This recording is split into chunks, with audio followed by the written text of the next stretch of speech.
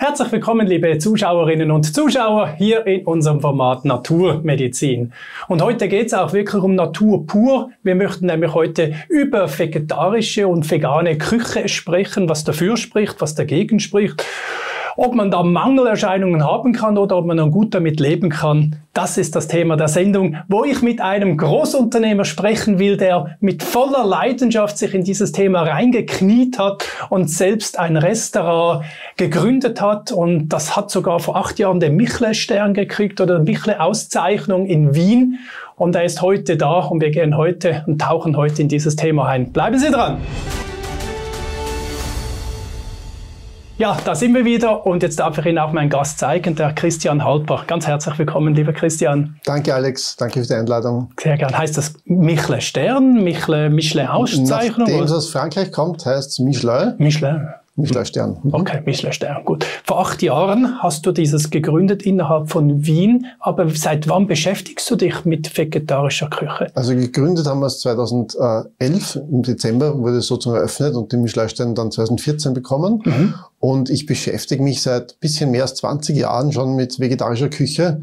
Ich war da einfach beruflich viel unterwegs und habe äh, einfach in den besten Lokalen gegessen und habe mich, obwohl es sehr gut geschmeckt hat, danach nicht immer ganz wohl gefühlt und habe mir dann die Frage gestellt, was ist denn eigentlich gesund? Und habe mich dann mit dem Thema Ernährung beschäftigt und bin dadurch dann zum vegetarischen Essen gestoßen. Mhm. Ich habe viele Ärzte immer wieder auch hier auf diesem Stuhl sitzen und die einen sagen, man braucht Fleisch, die anderen sagen, nein, man braucht es nicht, aber man muss dafür diverse Sachen ergänzen. Äh, wie ist dein Statement zu dieser Überlegung? Ja, also die, die Welt ist bunt und auch da gibt es viele unterschiedliche Sichtweisen und Meinungen.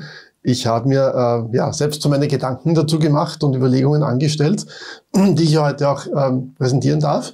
Ähm, ein wichtiger Faktor für mich ist dabei einfach, ja, was ist unsere Natur? Was ist, was ist unsere, unser Körperbau eigentlich? Was, was sagt uns der und, und wie können wir von dem darauf schließen, was gut funktioniert? Weil wenn ich jetzt zum Beispiel ein, ein Fahrzeug habe, ein Automobil, dann ist manches für Diesel gebaut, manches für Superbenzin und wenn ich ein Flugzeug habe, für Kerosin. Aber ja, das heißt nicht, dass Diesel schlecht ist und Superbenzin gut ist und Kerosin was auch immer. Das heißt, das muss auch zum Fahrzeug passen. Und genauso ist es mit unserem Körper, weil wenn ich jetzt einem Löwen sage, er ist Vegetarier, das passt vielleicht nicht so ganz. Und das, die Frage ist, was unser Körperbau eigentlich uns aussagt. Also was mhm. passt zu dem? Gibt es da noch eine Blutgruppendifferenz? Ich habe das schon gehört, dass die Blutgruppe XY äh, sehr stark neigt dazu zum Fleischessen. Ja, das ist durchaus auch etwas, was man beachten kann. Ähm, allerdings stellt sich mir die Frage, ob, äh, wenn ich jetzt zum Beispiel sage, naja, beim Löwen, es hängt von der Blutgruppe ab, ob er ein Vegetarier okay. ist oder ein Fleischesser, mhm. dann sage ich, mh, hm, vielleicht nicht. Mhm. Ja, vielleicht hängt es doch von anderen Dingen viel mehr ab macht mir gerade wieder so Freude. So einfache Beispiele können wir alles abhaken, alle diese Thesen. Äh, dann heißt aber auch, der Gorilla sei ein Vegetarier. Und dann, wenn man ein bisschen nachforscht, sieht man, dass er ganz, ganz viele so kleine Viecherchen frisst, die unter den Wurzeln sind, so Maden. Und die sind ja auch letztendlich richtig proteinhaltig. Also ist er jetzt Vegetarier oder nicht Vegetarier? Ja, ich würde sagen, es gibt einen gewissen Zwischenbereich. Also auch Katzen essen zum Beispiel Gras, mhm. speziell wenn sie mit der Verdauung Probleme haben. Also nicht so, dass äh, Fleischesser nur Fleisch essen, und äh, ein, ein Vegetarier tot umfällt, weil er mal eine Raupe mitgegessen hat. Also mhm. das wäre vielleicht zu extrem, aber die Frage ist halt, was unsere Haupternährung sein sollte. Und ja, da gibt es verschiedene interessante Überlegungen mhm. dazu. Ich habe mal dich im Fernsehen, nein, ich glaube auf PowerPoint-Präsentation im Internet gesehen, auf YouTube, wo du über die sieben Geschenke gesprochen hast innerhalb der Ernährung. Und die hast du heute auch mitgebracht und die möchten wir einfach mal einzeln durchgehen, deine Präsentation, weil sie mich so tief beeindruckt hat. Und ich dachte mir einfach, ja, eigentlich, das muss ja jeder wissen, was du da zusammengestellt hast. Wollen wir damit gleich beginnen? Sehr gerne, ja. Super.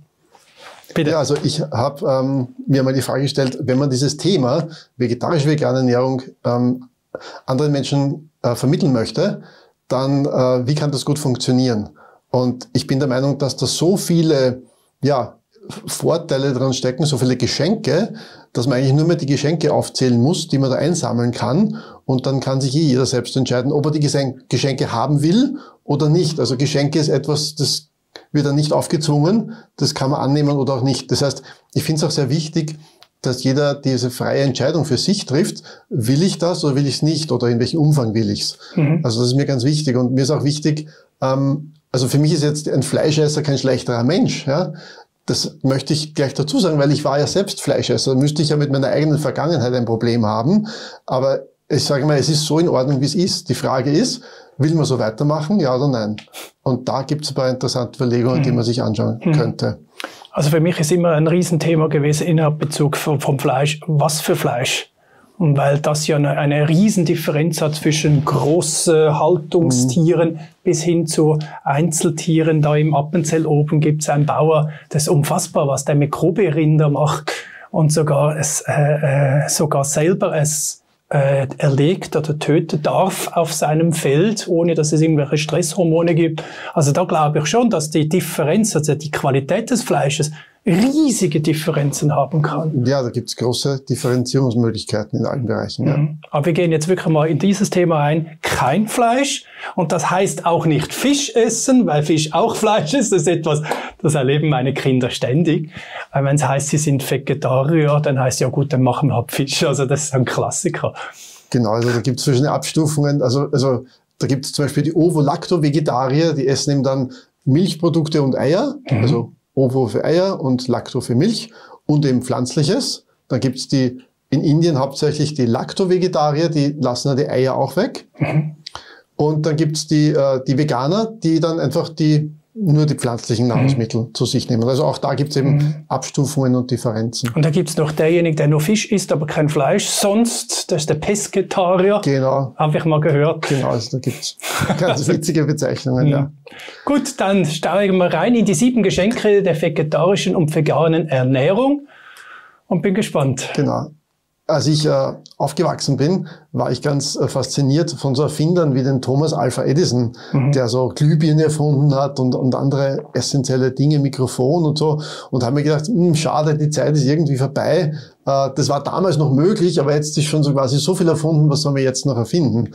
Nur als ich dann größer geworden bin, habe ich gemerkt, naja, es gibt da einige Dinge, die, ich würde mal sagen, äh, mir auffallen im Laufe meines Lebensweges, die vielleicht anderen Menschen nicht so auffallen. Also so, so Geschenke, die man im Laufe des Weges entdeckt. Und, und eines dieser Geschenke ist eben diese Ernährungsform der vegetarischen veganen Ernährung, über die ich so quasi gestolpert bin durch meinen Lebensweg und äh, wo ich gemerkt habe, das sind eigentlich in dem Geschenk nochmal sieben extra Geschenke verpackt. Das heißt, das ist eine echte, wenn man so will, eine Win-Win-Win-Situation, wo also in einem großen Geschenk viele kleinere noch verpackt sind. So, was sind jetzt diese sieben Geschenke? Das erste ist, ähm, also es nährt und schmeckt. Das heißt, wenn ich hungrig bin, will ich was zum Essen haben, wo ich dann satt bin. Also was Nährendes haben, wo ich dann gefühlt habe, okay, jetzt habe ich gut gegessen, satt, danke. Und natürlich soll es auch schmecken. Also da geht es um die Erfahrung im Hier und Jetzt. Weil wenn es nicht gut schmeckt, ist das vielleicht schon ein Indiz, naja, wer weiß, ob das mir gut tut. Ne? Mhm ist noch nicht die Garantie dafür, weil Zucker schmeckt auch gut und zu viel davon ist vielleicht nicht so gesund. Mhm. Äh, also dieses Thema ist auf jeden Fall beim Vegetarischen abgedeckt. Mhm. Obwohl viele meinen, naja, wenn ich jetzt Fleisch und Fisch weglasse, was kann ich denn dann noch essen? Aber ich habe gemerkt... genau, das höre ich immer wieder. genau. Ich habe gemerkt, äh, wie ich mich entschlossen habe, meine Ernährung auf mehr vegetarisch umzustellen, dass da eigentlich ganz viele Zutaten gibt, die, ähm, die man vielleicht gar nicht so kennt die aber sehr interessant sind und tolle Kombinationen gibt. Zum Beispiel im, äh, im Tieren haben wir zeitlang auf der Karte gehabt zum Morcheln mit Lauch und Vanille. Also man kann sich das kaum vorstellen, wie mhm. soll es zusammenpassen. Gemüse, Lauch, dann die Pilze, die frischen Macheln und Vanille. Also eine total geniale Kombination, die man eben nicht kennt, aber vielleicht dadurch erst entdeckt, wenn man offen ist dafür. Wenn man sagt, mhm. okay, ich probiere was Neues, ich experimentiere mit verschiedenen Zutaten. Oder zum Beispiel im CN Bistro hatten wir zeitlang so vegane Weißwürste, basierend auf, auf Pilzen auch. Also schaut optisch auch aus wie normale Weißwürste habe auch gerade jetzt gelesen, heuer am Oktoberfest in München wird es auch vegane Weißwürste geben. Also bei uns in Wien gab es das schon länger. Super, ähm, aber das kann man machen. Also man kann genauso gut das Fleisch einfach durch Pilze ersetzen, die gleichen Gewürze rein, schaut optisch gleich aus, schmeckt genauso gut. Das ist es eben, es schmeckt eben genauso gut. Ja? Genau. Oder zum Beispiel, wenn man eine Gemüsepilz-Paella macht, Oder dann habe ich mal in einem Restaurant gegessen, ähm, so eine, eine rote Rübe im Tongeschirr gebacken. Da kommt dann der Kellner zum Tisch, schlägt das Tongeschirr auf und, und man hat dann die rote Rübe, der schneidet es noch schön auf. Also schaut optisch toll aus, ist ein, auch ein, ein Genusserlebnis für die Augen und hat auch hervorragend geschmeckt. Oder man kann auch Tofu Scramble machen, so quasi als, als ähm, Alternative zum Rührei. Oder ich mache mir gerne am, am Weißen See auf, aufs Müsli so frisches Medesüß drauf. Das ist ein, ein Kraut, das so im Schilfbereich wächst, also das blüht im Schilfbereich und das hat so einen, so einen mandeligen, bittersüßen Geschmack. Also wenn man es mir anschaut, man entdeckt dann im Laufe der Zeit Zutaten, die man vielleicht noch gar nicht gekannt hat, durch das, dass man oft müssen auf die Suche geht. Mhm. Zum Beispiel, was ich entdeckt habe, was ich sehr toll finde, ist Leinöl. Mhm. Das wird gemacht aus den Samen de, äh, des Lein, äh, der Leinpflanze und die werden gepresst und das Leinöl hat einen großen Vorteil gegenüber anderen Ölen. Das hat ganz, ganz viel Omega-3-Fettsäure, also 55 Prozent Omega-3-Fettsäure. Das ist ein essentielles Öl, das unser Körper auch braucht hat dann so einen leicht nussigen Geschmack, wenn es frisch ist und, äh, und, und ist extrem gesund und, und schmeckt auch ganz toll. Kann man zum Beispiel sehr gut mit, ähm, mit äh, Quark oder also mit Österreich heißt es Topfen mischen oder, oder mit äh, veganem äh, Quark und äh, so als Beilage zu Kartoffeln sehr, sehr gut.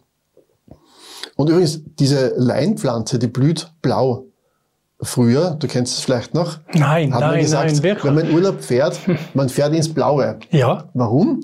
Weil vor 100 Jahren und länger Leinpflanze eine der fünf wichtigsten Kulturpflanzen in Europa war. Und da waren, wenn der Lein geblüht hat, die ganzen Felder blau. Mhm. Aus dem kommt dieser Ausspruch, man fährt ins Blaue. Wusste ich nicht. Also so essentiell war Lein früher und jetzt ist fast ein bisschen in Vergessenheit geraten. Mhm. Mhm. Genau. Also ich meine, ich weiß, dass Leinöl ein wertvolles Öl ist, mhm. aber man soll es nicht kochen und nicht heiß machen, genau. weil es halt kaltgepresstes, wertvolles ist. Ja, genau. Und wenn man es erhitzt, wird es, glaube ich, dann geht das Omega-3 kaputt und es wird Omega-6 draus oder sowas. Ja, also besser kalt gepresst verwenden. Mhm. Am Salat drauf oder am Schluss auf die Speisen drüber oder im Verrühren in so Soßen. Mhm. Okay. Eine andere Zutat, die ich sehr spannend finde, einfach frische Linsensprossen.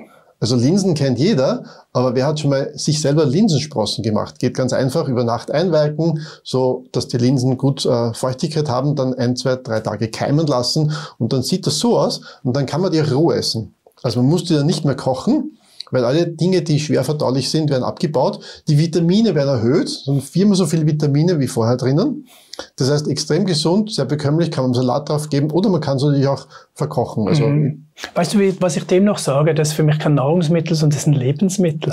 Es ja, genau. lebt. Richtig. Es ist ins Leben gezogen, oder? Genau. Und ich, ich spüre das auch, wenn ich so frische Sprossen essen kann, egal ob das Linsensprossen sind oder Munkbohnensprossen oder andere Sprossen, Radieschensprossen, was es alles gibt, da habe ich das Gefühl, ich bekomme sofort Energie. Das macht mich irgendwie wach, klar und munter. Mhm. Also steckt die Lebenskraft drin, man kann das richtig spüren und erleben, wenn man es isst. Mhm. Oder Tempeh, kennen vielleicht auch noch nicht viele. Das ist im Prinzip eine, eine Speise, die aus Indonesien kommt ursprünglich. Da werden Sojabohnen fermentiert, so ähnlich wie beim Camembert, so ein Weißschimmelkäse ist das, also Weißschimmelpilz und äh, ist sehr bekömmlich und, und schließt eben auch die Sojabohne so auf, dass sie gut ver zu verdauen ist. Sehr äh, wertvolle Proteinquelle und kann man verschieden marinieren. Also tolle neue Alternative. Oder zum Beispiel so Edelausternpilze. Die gibt's auch in, in Biozucht zu kaufen, äh, haben ein hervorragendes Aroma und sind eine tolle Ergänzung zu ja, Champions. Oder, also es gibt einfach im Pilzbereich auch viel äh, Vielfalt. Also man kann nicht sagen, es gäbe nichts, wenn ich nur, wenn ich das Fleisch weglasse. Ganz genau. Ja, es, es, es, gibt ganz viel Neues zu entdecken. Das ist eigentlich mhm. spannend. Mhm. mhm. Und ja, und man kann auch dann Kochbücher sich zulegen. Zum Beispiel ähm, im, im Tierenrestaurant, der, der Leiter dort ist der Paul Iwitsch. Der hat auch mehrere Kochbücher schon geschrieben. Sein erstes war die vegetarische Sommerküche, wo man sich einfach Inspiration holen kann. Welche Dinge könnte man denn miteinander kombinieren, die einfach geschmacklich dann sehr, sehr interessant sind. Mhm. Mhm. Und wenn man sich mal überlegt, woher kommt denn eigentlich die Geschmacksvielfalt in unserem Essen? Das Fett, oder? Ja, Fett ist ein gewisser Geschmacksträger, aber, aber da gibt's noch viel mehr eigentlich. Gewürze. Genau. Hm, hilf mir. Ja, ich habe mal überlegt, okay, welche äh, Dinge essen wir eigentlich als Mensch? Was konsumieren wir? Und da habe ich festgestellt, also wenn man schaut jetzt Landpflanzen, das wäre jetzt sozusagen das rein vegane, versus Sachen, die aus dem Wasser kommen, See oder Meer, Tiere, Pflanzen oder auch Landtiere. Mhm. Und wenn man da schaut, wie viele Arten gibt es denn da? Dann sind es ungefähr 7000 Landpflanzenarten, die wir konsumieren. Wobei als Ergänzung möchte ich sagen, das hat jetzt nichts mit den Sorten zu tun, weil, weil Reis zum Beispiel ist eine Art, aber es gibt vom Reis 100.000 Sorten. Ups. Also Langkornreis, Rundkornreis, Wildreis, roter Reis, brauner Reis, also äh, mhm. alles Mögliche, 100.000 Sorten, aber Reis sozusagen wäre eine Art. Mhm. Weizen wäre eine Art, Karotten wäre eine Art, mhm. Tomaten wäre eine Art und so weiter. 7000 Arten gibt es da, die wir konsumieren.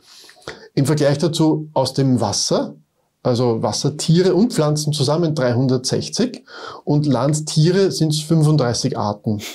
Das heißt, wenn man das jetzt prozentuell betrachtet, sind wir ungefähr bei 94,5 Prozent der Zutaten, die eh schon pflanzlich sind. Das heißt, wenn ich jetzt ganz extrem sage, ich konzentriere mich nur auf das Pflanzliche, dann habe ich immer noch 94,5 Prozent aller Zutaten. Schon verrückt, hä? Also, und wenn man denkt, dass heutzutage so viele Leute auf diese 0,5 abzielen, mhm. äh, man hat das Gefühl, jeden Tag muss ein Stück Fleisch auf dem Teller sein und das ist ja eigentlich schon verrückt, oder? Ja, also es hat eine gewisse Gewohnheit, aber wenn man sich mal rein die Zutaten ansieht, die vorhanden sind und zum Kochen verwendet werden, dann ist die Vielfalt eigentlich ganz so anders und man braucht keine Angst haben, dass es dann langweilig schmeckt, mhm. wenn man fünf Prozent oder ein halbes Prozent verzichtet. Mhm. Wenn man sich das als Grafik anschaut, ja, kein Problem. Daher, die große Vielfalt ist schon bei den Pflanzen. Wenn man sich nur mehr vor Augen hält, der Geschmacksunterschied Tomate, Oregano, Vanille, Linsen, Kaffee. Ja. Das sind komplett unterschiedliche ja. Welten. Ja. Äh, und wenn ich mir jetzt vergleiche dazu Geschmack von, von Rind, Schwein, Lamm, Ziege, Huhn, das ist, sagen wir jetzt, ein sehr schmaler ja, Geschmacksbereich. Ja. Das heißt, die Vielfalt und der Geschmack ist eh bei den Pflanzen und daher ist es auch leicht möglich, eine Gourmetküche vegetarisch oder vegan zu machen. Mhm. Das ist die Basis dafür. Mhm. Mhm. Verstanden, ja. Und damit, also kann es sehr gut schmecken. Man muss halt wissen, wie man es macht. Manche Köche haben das in der Schule nicht gelernt. Das heißt, wenn man das lernen will, gibt es viele tolle Kochbücher oder auch viele Seiten im Internet. Also man kann das lernen, die Möglichkeit ist da und, und die Basis ist da. Also mhm. da gibt es eigentlich keine Ausrede nach dem Motto, das schmeckt mir nicht. Naja, heißt eigentlich nur, äh, ich habe noch keine Idee, wie ich es mache. Aber Hast du das Gefühl, das ist ein großer Trend, der überschwappen wird?